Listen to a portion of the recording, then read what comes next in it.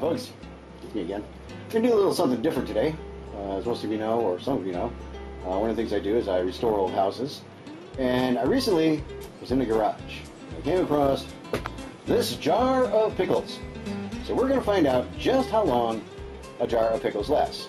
Now this uh, particular jar was in a garage for well over 8 to 10 years. Not sure exactly sure how long it was, but in this garage the temperatures went anywhere from cold, well, cold as is here in Southern California, like 40, to well over 120 degrees because it's garage. So we're going to open it and we're going to see how good they are. Now these pickles are brought to us by the, uh, the good people at Cherris Valley Gardens, the hot and spicy dill pickle. Uh, we're going to see, so we're, we're going to find out. We know where this is from. All right, so shall we?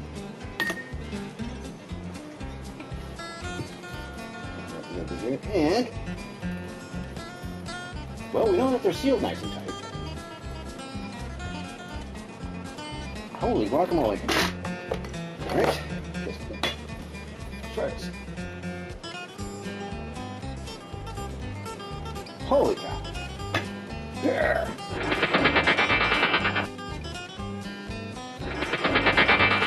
There we go, okay.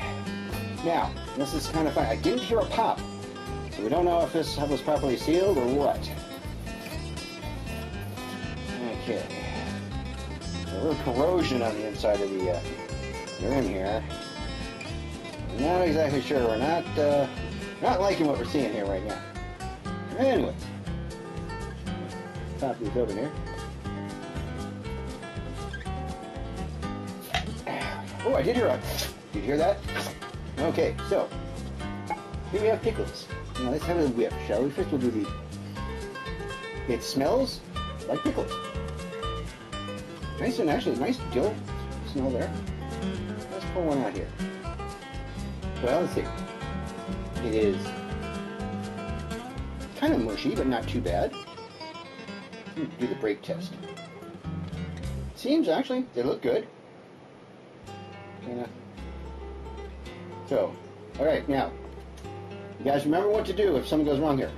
911. Those are the numbers you call, okay? Say, this idiot on the internet was eating 10-year-old pickles, okay? All right, so here we go, kids.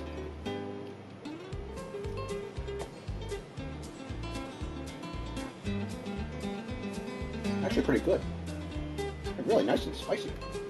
I don't think it's bad at all. I think these have lasted the uh, test of time for like almost 10 years now these pickles have been sealed. So, I think to the folks at hmm, Cherris Valley Gardens, P.O. Box 9654, Fort Worth, Texas, 9776147. If you like good pickles, go to them. They stay forever. Okay, you want to try one? Anybody? Crew? All right, we got people coming to get pickles. All right, listen. It's fun making this video for you, and we're going to see y'all next time. Until then,